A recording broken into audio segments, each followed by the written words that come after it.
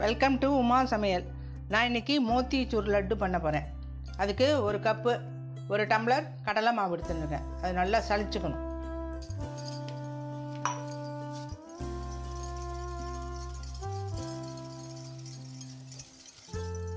இந்த மாரி கப்பிலாம் இருக்கும். அது இல்லாமல் இருந்தால் தான் நல்லா ஸ்மூத்தாக கரைக்க முடியும். கட்டி இல்லாமல்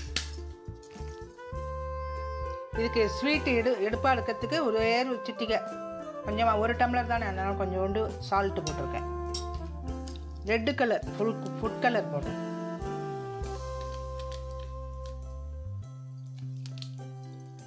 இப்போ ஒரு கப்பு கடலமாவு எடுத்தேன் அரை டம் ஒரு டம்ளர் எடுத்தேன் கடல மாவு அரை டம்ளர் ஜலம் விட்டு கரைக்கிறேன்.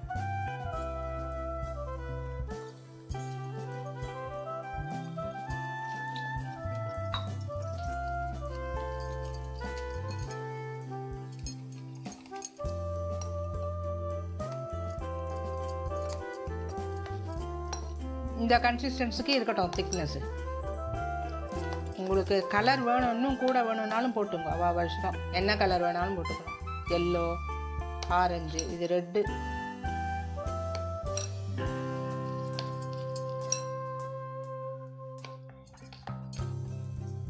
இது அப்படியே இருக்கட்டும் அஞ்சு நிமிஷம். அதுக்குள்ளேயும் சக்கரை பாகு ரெடி பண்ணிக்கலாம்.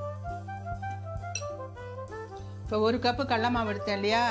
அதுக்கு அரை கப்பு சுகர் போடுறேன். பாகு இருக்க கால் டம்ளர் ஜலம் விடுறேன்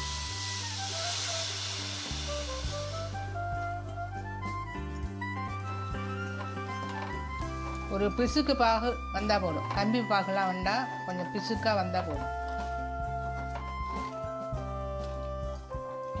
இப்போ சுகர் நல்லா கரைஞ்சுடுத்து இந்த லைட்டாக பிசுக்கு பாதம். கம்பிலாம் வர வேணும். பிசுக்காய் எடுத்து இப்போ வந்து கலர் பொடியும் ஏலக்காய் பொடியும் போடுறேன். ஃபுட் கலர் கொஞ்சம் போடுறேன்.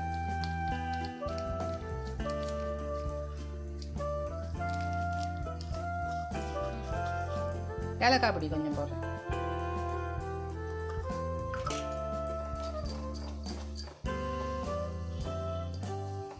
இப்போ கேஸ் ஆஃப் பண்ணிடுறேன். ஆயில் சூடாயிட்டு இப்போ மாவை விடுறேன்.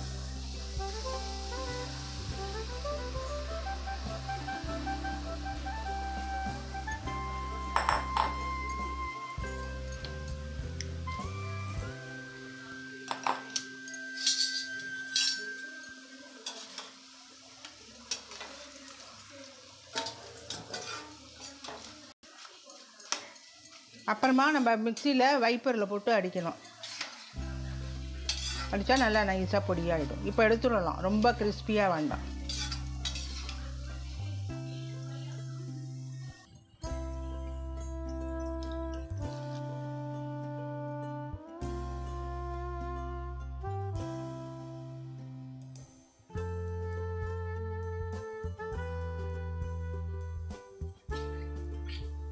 இந்த தேய்ச்ச பூந்தியை மிக்சியில் கொஞ்சம் கொஞ்சமாக போடணும். நிறைய போடக்கூடாது.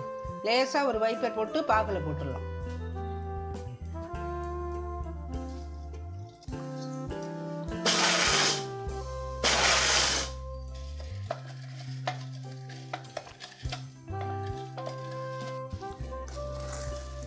பாகில் போட்டு கலரி ஒரு ஆஃப் அன் ஹவர் வச்சுருவோம். நல்லா அப்படியே இழுத்துட்டு கெட்டியாக இருக்கும். அப்புறமா பிடிக்கலாம்.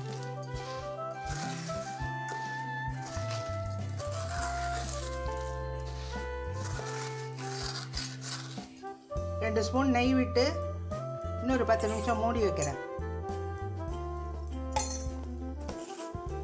நல்லா அப்போ உங்களுக்கு பிடிக்க வரும். ஊற ஊற நல்லா பிடிக்க வரும்.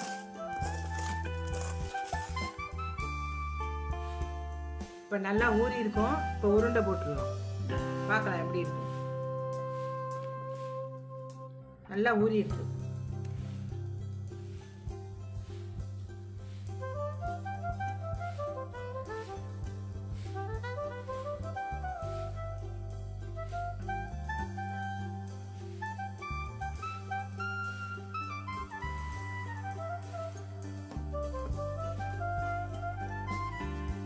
சுவையான மோத்திச்சூர் லட்டு ரெடி ரொம்ப ஈஸி கஷ்டமே இல்லை. சீக்கிரம் பண்ணிடலாம். உடச்சி காமிக்கிறேன். உள்ளே எப்படி இருக்குன்னு.